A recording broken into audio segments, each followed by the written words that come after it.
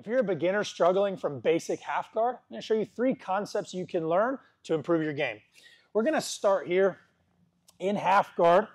The first thing I wanna look at is just framing to re-guard. So very simple here. I'm gonna create a two-handed frame here. My left hand across Max's shoulder up on his trap, my right hand kind of by the pec here. What I'm doing is making sure Max doesn't control a crossface here and flatten me out. First thing we look at is our frame to re-guard. My left foot's gonna step over Max's foot.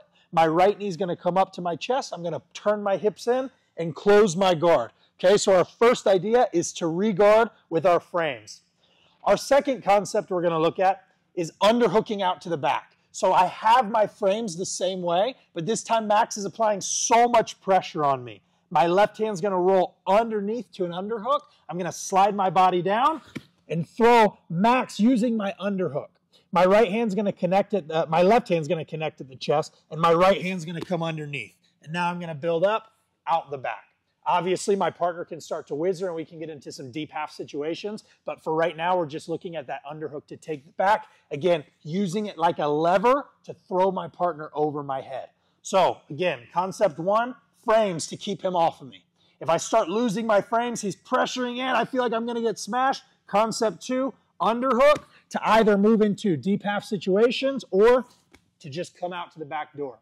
Concept number three is going to be our knee shield, okay? And our knee shield we're going to use with our frame. As Max puts this pressure on, I'm going to unlock my feet and pull my left toes close to my butt. And now as I hip escape away, I'm going to use my right toes to control Max's shin here. Now my left knee is going to just slide in front of Max's hip bone, and I'm going to stack my feet on top of each other. Okay, so I have my, my big toes over top of each other. My frame is still intact, and my knee shield is right here in the center of Max's chest. So as Max tries to put some pressure on me, go ahead and put real pressure. I can control using this knee shield, and it gives me opportunity to, again, go back to my underhook, kick the knee shield free, go back into my standard half, fish the foot, and close my guard, or just simply keep the pressure off. So again, these are just three basic concepts that you can use if you're starting out to hold your half guard a little bit better. Guys, if you want to see how I like to attack from bottom half guard, you can click right here. If you want our full jiu-jitsu curriculum, everything from white belt to black belt, you can go to coreprobjj.com right here.